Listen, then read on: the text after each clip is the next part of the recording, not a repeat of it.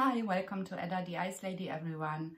Uh, tonight we're gonna review two pots which I got sent from my friend Michael Hack from a German growers um, group. And it's a Douglah, Douglah Tea cross uh, also known as uh, Sepia Serpent. And um, one which is called Pimenta Project number one and I found out it's a cross out of a Pimenta de Neyde and a random unknown parent. Um, I think I would like to start uh, with the Pimenta project number one. Um, actually, I got this uh, like four weeks ago and they look they look fantastic. Have a look at them. They are still in a good shape and condition and they are beautifully shaped. And this isn't mold over there. It's just the color of the pot. It has dark spots and it's like um, different colors like red and brown and so on. So I'm going to cut this open.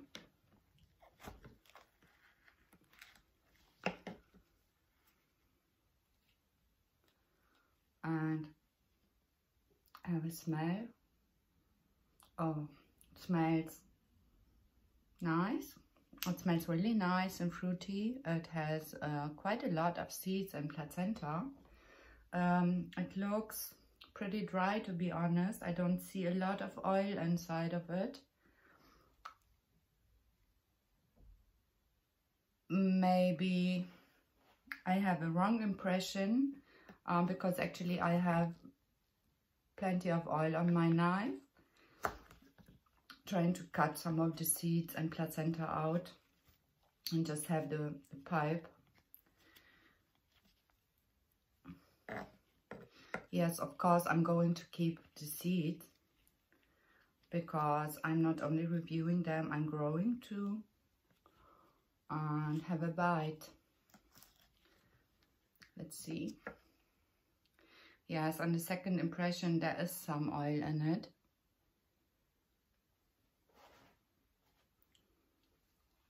Mm. Mm, okay, this tastes fruity and almost sweet. A really nice taste. and mm, it builds quite a heat instantly. It's not mild at all. So I would say this ranges easily towards a scorpion.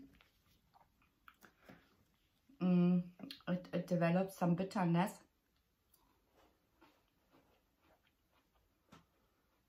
But it has a very nice fruity and almost sweet impression first. And the heat profile is um, scorpion-like, I would say. So it develops uh, in the whole mouth. The whole tongue is covered with heat a little bit on the side of my mouth and also the gums. Not too much in my throat. We'll see if it goes somewhere else. Just wait a second to see how it develops. Still climbing. So this isn't done yet nice pepper. A nice pepper. And definitely a, a very good looking one. So I didn't bring yogurt today because I was out of it's just some plain nuts. To to cool down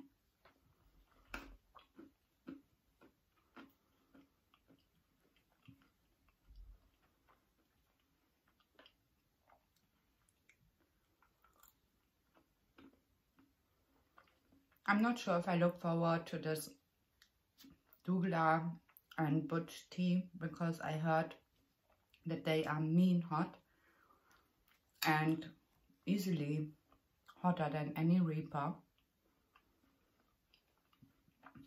and I need to chew a little bit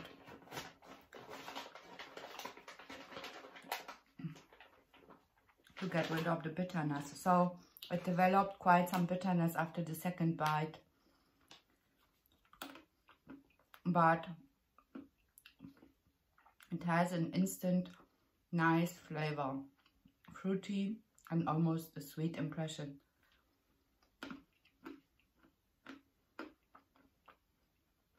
Definitely not a mild one. Okay. I got actually two of each to try.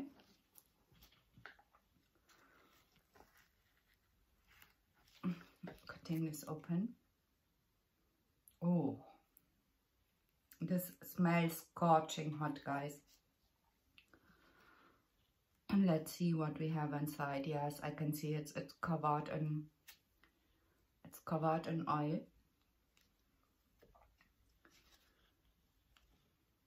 Getting rid of the placenta. It has um, pretty much placenta too. Um, and it's definitely a gnarly variety as you can see. The color is beautiful. It's uh, orange and brown and um, it looks quite mean. you can see here how many oil it had. I'm going to cut a piece. It's pretty oily. I expect this to hurt.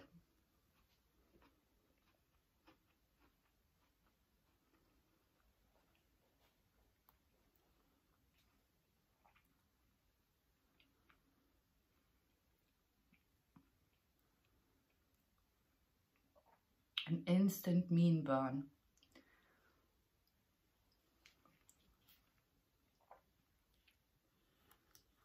This beast is oily. Look at this.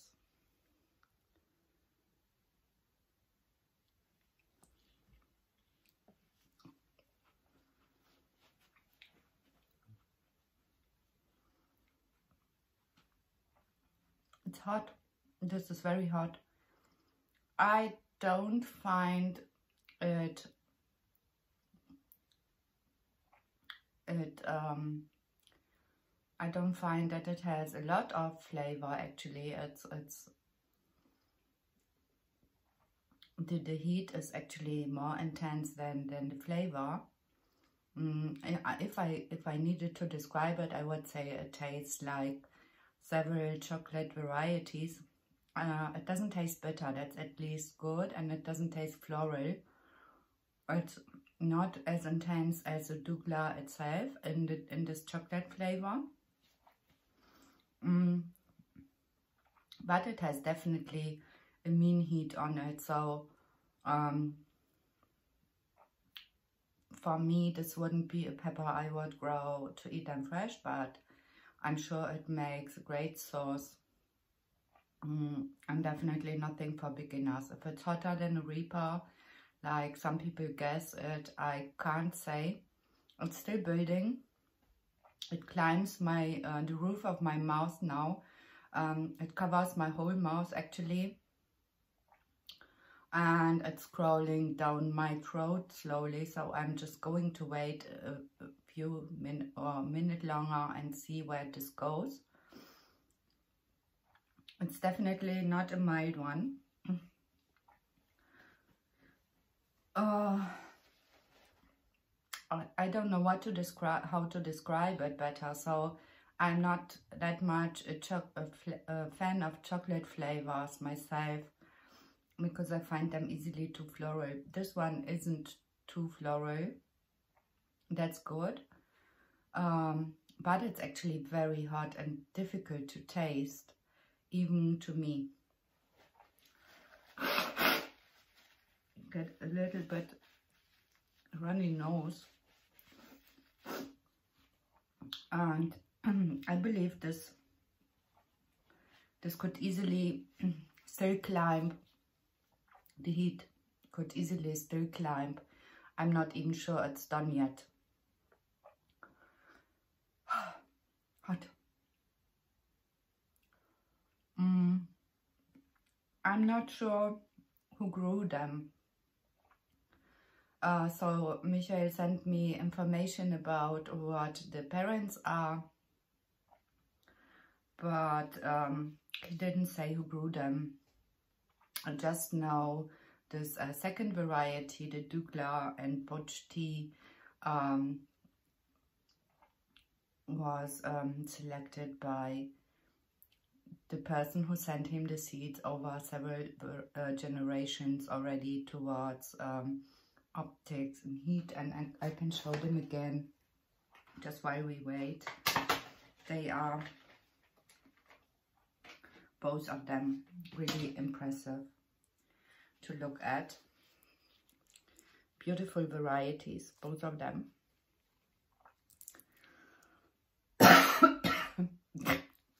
Sorry.